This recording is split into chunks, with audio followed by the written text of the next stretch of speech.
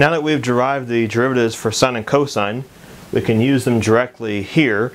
You're not required to use limit process to do that. Since we did all that and proved it, that means automatically whenever you do a derivative of cosine, for instance, we should automatically know what that derivative is and we can just write that in there instead of going through the whole limit process. Let's do that with these two examples. For this one, we're going to take the derivative of each term separately. So f prime of x, the first one is a constant times an x, so you're going to be left with a constant when you take the derivative. The second one, we're going to do minus 5, and then we're just going to multiply it by the derivative of cosine x. So the derivative of cosine x is automatically negative sine x. So again, that was from the definition we just talked about previous video.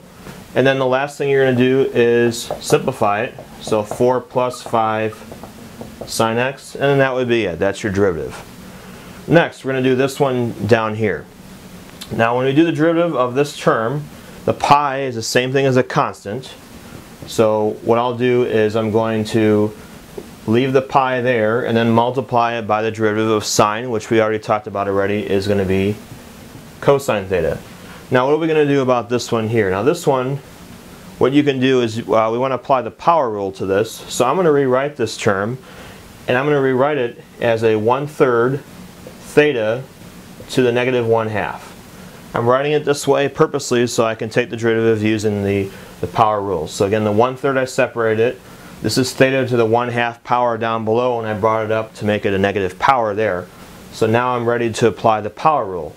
So what happens is the I have a one third and then the negative one half is going to come down in front theta and then subtract 1 from the exponent. So negative 1 half minus 2 over 2 will give you negative 3 halves.